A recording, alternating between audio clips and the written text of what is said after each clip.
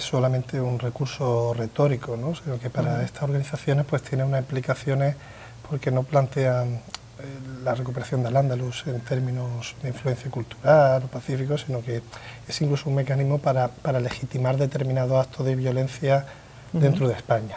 Pero en cambio, si su planteamiento es recuperar al Andalus, eh, ¿no sería lógico que tuviésemos más presión en España de la que tenemos de, yihadismo y demás? Porque al final los grandes atentados que ha habido últimamente en Europa no han sido en España, han sido en otros países.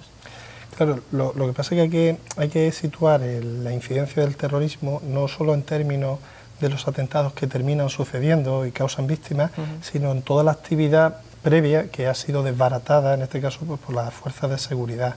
Y en el caso de España, en 2016 España es el, el tercer país de Europa que más eh, yihadistas detuvo. Básicamente lo que ha hecho Internet y las nuevas herramientas de la comunicación eh, es eh, otorgar a los terroristas un instrumento que en el pasado solo podían soñar y es la posibilidad de comunicarse directamente con su audiencia sin la intermediación y sin la supervisión de los medios de comunicación tradicionales. Eso hace que los terroristas ya no tengan que adaptar su discurso, incluso su violencia, a lo que creen que los medios, especialmente la televisión, puede, puede interesarles, sino que ahora ellos deciden qué dicen, cómo lo dicen y cuándo lo dicen. Cada vez más eh, las segundas y terceras generaciones de musulmanes que se han criado en, mm. en, estos países, que son fruto del propio sistema educativo, de las influencias que reciben, pues son quienes encabezan esa actividad terrorista. ¿no? Por lo tanto, eh, es la confluencia de, esos dos fenómenos, el, internacional y, el nacional al mismo tiempo. Aunque las nuevas tecnologías han roto un poco la lógica de comunicación del terrorismo, al final los más medios siguen ahí.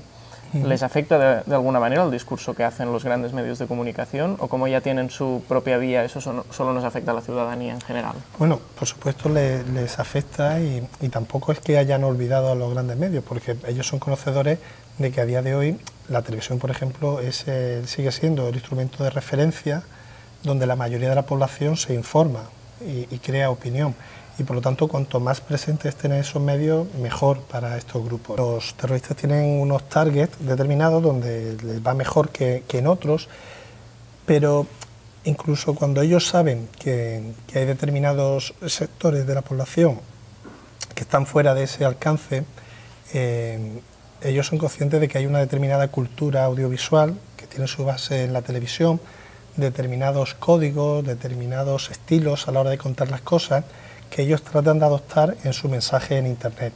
Y saben que cuanto más se asemeje a esa información que se consume de manera masiva, más posibilidades tiene de, persuadir y de ser aceptada. En general los medios son conscientes de que tienen un papel muy importante y en, buena medida intentan autorregularse, es decir, tener presente que hay determinados hechos que no se pueden obviar, son noticias y hay que informar de ellos, pero tienen que ser cuidadosos en la forma en cómo se informa.